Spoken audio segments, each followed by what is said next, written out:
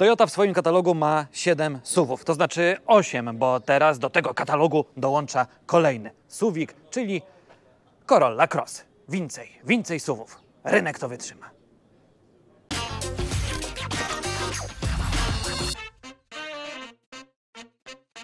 Corolla Cross ma oczywiście większy prześwit niż zwykła Corolla i to dokładnie o 3 cm, ale moim zdaniem wizualnie i gabarytowo temu autu bliżej do Rawki niż do Corolli. Można więc powiedzieć, że jest to taka mała RAV4. Czy tam małe RAV4. Bardziej jest to małe RAV4 niż duża Corolla. O, niech tak będzie. Dobra, nieważne. Bardziej jest to małe RAV4. Moim zdaniem oczywiście ale gabarytowo temu autu najbliżej jest do CHR-ki. Jest tutaj nawet dokładnie taki sam rozstaw osi jak w CHR-ce.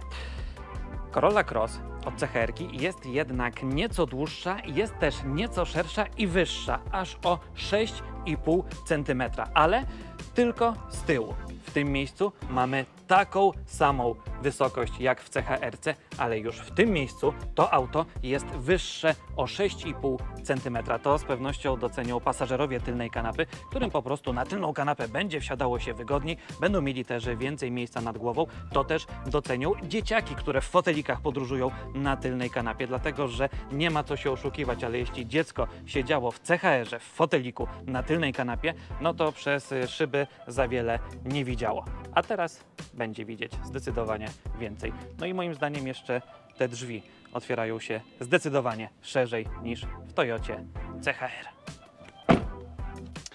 Na tylną kanapę jeszcze wrócę, ale teraz chcę Wam pokazać to, co ma przed sobą kierowca. A kierowca ma przed sobą, uwaga, odpalamy, wirtualny kokpit. Fajnie to wygląda, prawda?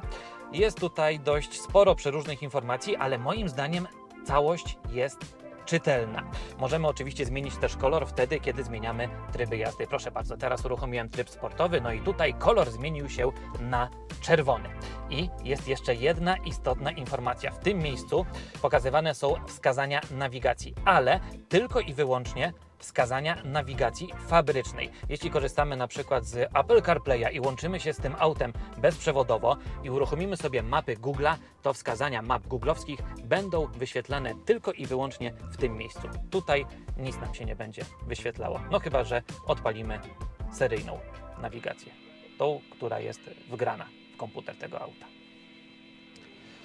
Zgodnie z obietnicą wracam na tylną kanapę. Zamykam drzwi i siedzę. Siedzę sam za sobą i teraz zobaczcie, jak dużo mam przestrzeni na swoje nogi. No ja tutaj na brak miejsca nie narzekam. Moje stopy również bez problemu mieszczą się pod fotelem kierowcy. Przypomnę tylko, siedzę sam za sobą, mam 176 cm wzrostu. Co my tutaj jeszcze mamy? Mamy oczywiście podłokietnik, a w podłokietniku dwa cup holdery. Kolejne cup holdery możemy znaleźć w boczkach drzwi dość spore. Zmieści się tutaj naprawdę duży kubek na kawę i bez problemu zmieści się co najmniej półlitrowa butelka wody, a myślę, że i większa by się tutaj zmieściła bez większych problemów. Jeśli chodzi o jakość wykonania, to te boczki wykonane są nieco twardszego plastiku niż boczki, które znajdziemy przy przednich drzwiach. I kolejna dziwna sprawa. Zobaczcie, pasażer siedzący za kierowcą nie ma przed sobą gazetownika. Gazetownik ma tylko pasażer, który siedzi za pasażerem przedniego rzędu siedzeń. Ale, co bardzo fajne, mamy tutaj dwa porty USB. Dwa porty USB-C, a więc y, przydadzą się, jeśli lubimy sobie w czasie jazdy podładować czy to telefon, czy to tableta, a jeśli ktoś ma dzieci, no to wie, że ten sprzęt elektroniczny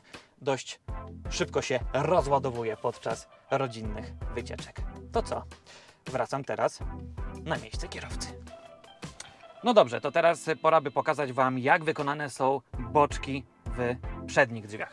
Wykonane są zdecydowanie z lepszego, bardziej miękkiego materiału niż te boczki, które e, znajdziemy z tyłu. No ale nie mamy tutaj takiego dużego cup holdera jak ten, który znajdował się przy tylnych drzwiach. Kubek na wodę, czy też e, kubek na kawę albo butelkę z wodą możemy wstawić w tym miejscu. Kolejne dwa kubki na kawę możemy wstawić w tym miejscu. Mamy tutaj kolejne dwa cup holdery. Mamy też ładowarkę indukcyjną w tym miejscu. Mamy też port USB, ale tym razem jest to zwykłe USB 2.0 i mamy chyba najbrzydsze przyciski, jakie widziałem we współczesnej Toyocie. No zobaczcie, jak te przyciski od podgrzewania foteli, czy też od podgrzewania kierownicy wyglądają. Wyglądają tak, jakby pochodziły z Toyoty z lat 90., a przecież mamy 2022 rok. Mam takie wrażenie, że ktoś, kto projektował wnętrze tego auta, po prostu zapomniał o tych przyciskach i na szybko coś tutaj zostało dorzucone. Chociaż tak naprawdę nie trzeba było tutaj za dużo projektować, bo tak naprawdę wnętrze wygląda jak żywcem wyciągnięte ze zwykłej, klasycznej Corolli. Mhm, tak, wiem, bo mam taki samochód u siebie w garażu. Raczej nie ma się tutaj do czego przyczepić. Spasowanie i wykonanie jest takie samo jak w zwykłych Corollach. Aha, i jeszcze jedna rzecz. Oczywiście mamy też schowek w podłokietniku, o którym nie powiedziałem, i tutaj mamy gniazdo na zapalniczkę. Nie ma żadnego portu USB, a więc w sumie są tutaj trzy porty USB.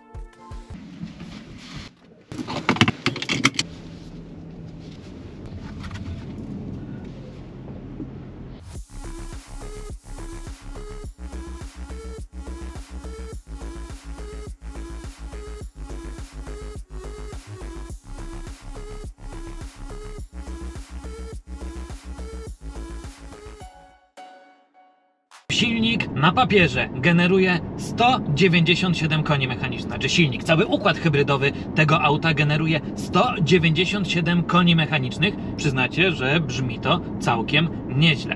Auto w wersji z napędem na 4 koła do pierwszej setki rozpędza się w 7,5 sekundy. Więc dość sprawnie jak na rodzinnego suwika, prawda? Prawda. Do tego jeszcze pedał przyspieszenia został ponoć skalibrowany pod europejskiego kierowcę, który lubi sobie nieco przycisnąć. A tak brzmią te konie mechaniczne. Jak to w Toyocie słychać. Corolla Cross jest pierwszą hybrydą Toyoty sprzedawaną w naszym kraju, która ma układ hybrydowy piątej generacji. Co to oznacza? Tak w dużym skrócie. Po pierwsze, silnik lub silniki, no bo w wersji z napędem na cztery koła są dwa silniki elektryczne. E, jeden mamy z przodu, drugi na tylnej osi. No więc te silniki elektryczne są mniejsze, lżejsze i wydajniejsze. Podobnie też jest w przypadku baterii, która również jest mniejsza, lżejsza i wydajniejsza. Do tego bateria jest też litowo-jonowa, a nie niklowo-wodo... niklowo-wodorkowa. Dzięki tym wszystkim zabiegom, gdy mocniej wciśniemy pedał przyspieszenia, tak jak na przykład teraz, to mówiąc wprost, więcej mocy idzie z prądu niż z silnika spalinowego.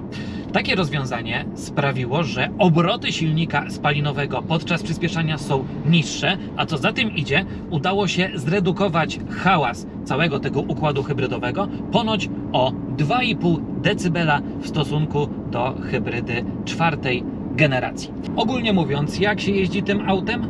Normalnie. Jest przewidywalne, niczym nie zaskakuje, ale jednocześnie nie jest nudne. Po prostu jest to taka Toyota Corolla, tylko troszkę podniesiona.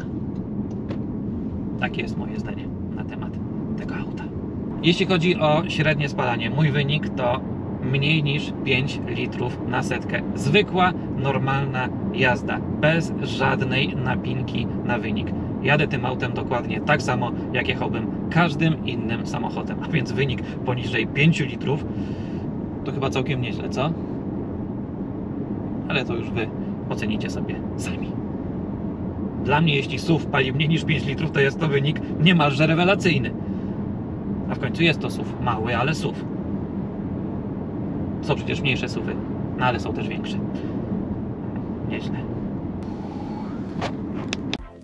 Skoro stoję teraz przy tylnej części tego auta, to będzie o bagażniku. Bagażniku, który otwiera się sam. To znaczy nie sam, trzeba wcisnąć tutaj taki przycisk i już naszym oczom ukazuje się kufer o pojemności 433 litrów. Bagażnik jest dość ustawny, przynajmniej moim zdaniem. Zobaczcie, mieszczą się tutaj więcej niż dwie kabinowe walizki i plecak. Niestety nie mamy tutaj podwójnej podłogi, a przynajmniej w tej wersji nie ma podwójnej podłogi, tylko jest tutaj zestaw naprawczy, apteczka i, i tyle. Pewnie gdzieś jest jeszcze ukryty trójkąt. Mamy dwa haczyki na zakupy, na torby z zakupami. Haczyki mogą udźwignąć maksymalnie 2 kg i mamy też, zobaczcie, w tym miejscu mamy, moim zdaniem jest to po prostu uchwyt na telefon. Nie wiem po co komu uchwyt na telefon w bagażniku, no ale jeśli chcielibyśmy, nie wiem, może usiąść sobie w ten sposób, o, nad jakimś jeziorkiem i połowić sobie ryby, to tutaj możemy położyć nasz telefon. Aha, i jeszcze jedna ciekawa informacja na temat bagażnika. Zobaczcie, jak się go zamyka. Wystarczy tylko wcisnąć przycisk i bagażnik już zamknięty. Ok, skoro wiemy, jak to auto jest wykonane, ile jest w nim miejsca, jak się nim jeździ i ile potrzebuje benzyny, by przejechać 100 km, to teraz może o tym, ile potrzebujemy mieć pieniędzy, by wyjechać tym autem z salonu Toyoty. Ty, ty, ty, ty, ty, ty, buduje troszkę napięcia, ty, ty, ty, ty, ty, ty, ty, by wyjechać nową Corollą Cross z salonu Toyoty, trzeba mieć co najmniej 146 tysięcy złotych. Tyle. Dziękuję, że byliście ze mną. Lajkujcie, komentujcie, subskrybujcie i do zobaczenia.